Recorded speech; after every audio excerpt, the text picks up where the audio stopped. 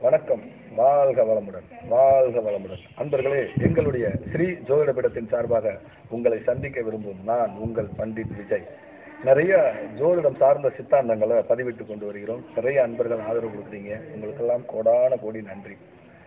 நிறைய விஷயங்கள்ல நிறைய பேருக்கு வித்தியாசமான ஒரு பரிகாரங்களை சொல்லிக்கிட்டு இருக்கேன்.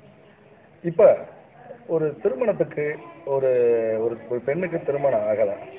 அந்த பெண்ணுக்கு திருமணத்துக்காக ஒரு பரிகாரம். அந்த பரிகாரம் செஞ்சு அந்த பெண்ணுக்கு திருமணம் நடந்திருக்கு. எப்படி அப்படின்னு கேட்டீங்கன்னா அந்த பொண்ணு வந்து தனுசு லக்னம். தனுசு லக்னம். தனுசு லக்னத்துக்கு சனி ஏழா ஏழாம் இடத்தை பார்க்கறாரு. சனி ஏழாம் இடத்தை பார்க்கறாரு மூணு கூடையவர். ஏழாம் இடத்துலயே சூரியன் இருக்காரு. ஏழாம் இடத்துலயே புதன் இருக்காரு. சனி அந்த ஏழாம் இடத்தை பார்க்கறாரு. இந்த பொண்ணுக்கு சனி ஒரு வீட்டை பார்க்கும் பொழுது சனி ஒரு தாமத கிரகம். சனி பகவான் வந்து ஒரு தாமத கிரகம். அவர் ஏழாம் இடத்தை பார்க்கறாரு. திருமணம் தள்ளிக்கிட்டே போகுது. ஏழுல சூரியன் வேற இருக்காரு.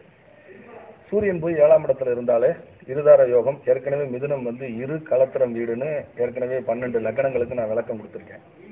அப்ப அவங்களுக்கு ஒரு பயம் ஆயிடுச்சு பேரண்ட்ஸுக்கு பொண்ணுக்கு ரெண்டு கல்யாணம் ஆயிருமா பிரச்சனை ஆயிருமா மன வாழ்க்கையில பிரச்சனை ஆகுமா கல்யாணம் வேற தாமதம் ஆகுது ஏதாவது பரிகாரம் சொல்லுங்க அப்படின்ட்டு வர்றாங்க. அப்ப நான் உங்களுக்கு என்ன சொன்னேன் அப்படின்னு கேட்டீங்கன்னா அந்த சூரியன் வந்து மிருக சீரிசத்துல இருக்கு. சூரியன் மிருக சீரிச நட்சத்திரத்துல இருக்கு. சனி அந்த வீட்டை பாக்குறாரு எந்த வீட்டை? மிதன வீட்டை? தனுசு லக்னத்துக்கு ஏழை கூடயே புதன் இருக்காரு. சூரியன் புதன் சனியினுடைய பார்வையில அந்த மிதனம் விழுகுது. சூரியனும் செவ்வாயினுடைய நட்சத்திரம் மிருக சீரிசத்தில் ஒரு வளைஞ்ச தென்னை மரத்துக்கு இந்த பொண்ணை தண்ணி எடுத்து ஊத்த சொல்லுங்க. சனி தனுசு லக்கணத்துக்கு மூணு குடையவர். ஒரு ஏழு நாளைக்கு ஏழு வாட்சை உடைக்க சொல்லுங்க. மூணுங்கிறது இயக்கம்.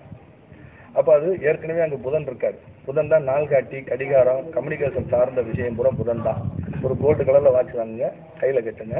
டெய்லி ஒவ்வொரு வாட்சாக உடைங்க. வளைஞ்ச தென்னை மரத்துக்கு தண்ணி ஊற்றுங்க அப்புறம் ஒரு கும்பாபிஷேக நிகழ்வுல கலந்துக்கோங்க. இதுதான் அவங்களுக்கு சொன்னது. இதை செஞ்சு அந்த பொண்ணுக்கு திருமணம் ஆயிருக்கு.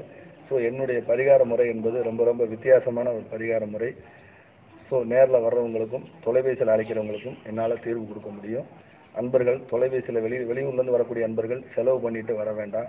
ஏன்னா நான் இருக்கிறது கோவையில். நீங்கள் ஃபோன்லேயே என்கிட்ட ஜாதகம் பார்க்கலாம். குறைந்து ஒரு மணி நேரம் உங்ககிட்ட நான் ஃபோனில் பேசுகிறேன் மீண்டும் நல்ல ஒரு சூழலில் சந்திக்க விரும்பும் நான் உங்கள் பண்டிட் விஜய். வணக்கம். வாழ்க வளமுடன். வாழ்க வளமுடன்.